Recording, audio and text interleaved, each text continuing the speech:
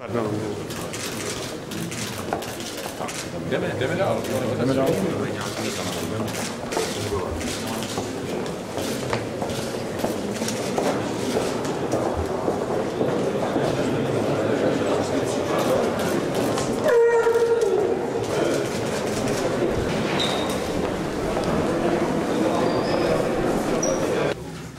Konference se koná při příležitosti zahájení horké fáze volební kampaně České strany sociálně demokratické.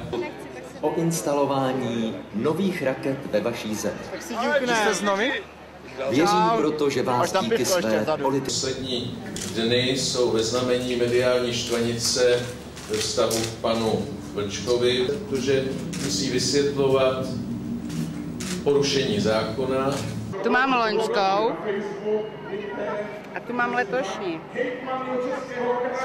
Ale mě ne, jo, jenom tuhleto.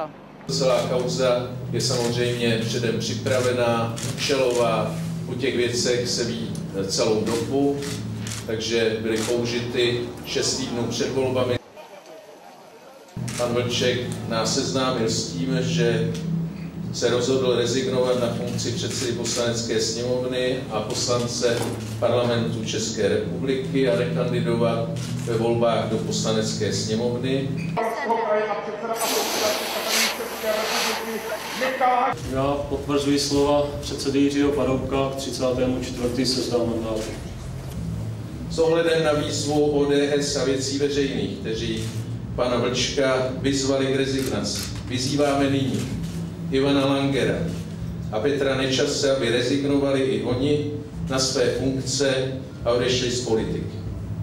Ivana Langera, známého veřejností, veřejnosti pod mafiánskou přezdívkou Ičko proto, neboť existuje důvodné podezření z jeho napojení na organizovaný zločin a lobbying pro bývalého mafiánského bose Františka Bráska.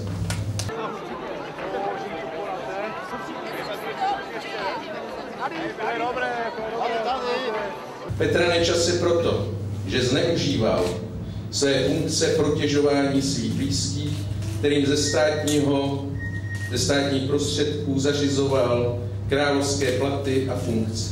Děkujeme za koncert, pánové, díky, díky moc.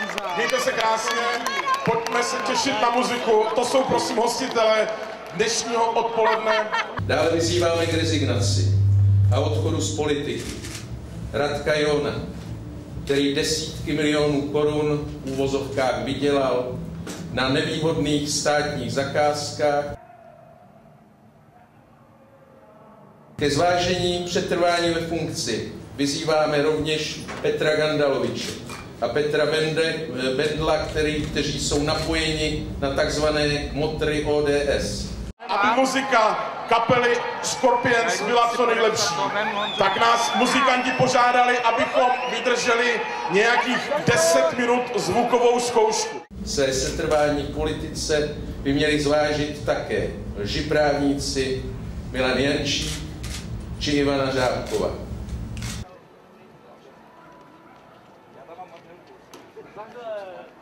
Odchod po odvážném gestu pana Vlčka doporučujeme též prvnímu místopředsedovi TOP 09 Miroslavu Kalouskovi, který čelí dlouhodobě podezřením z korupce.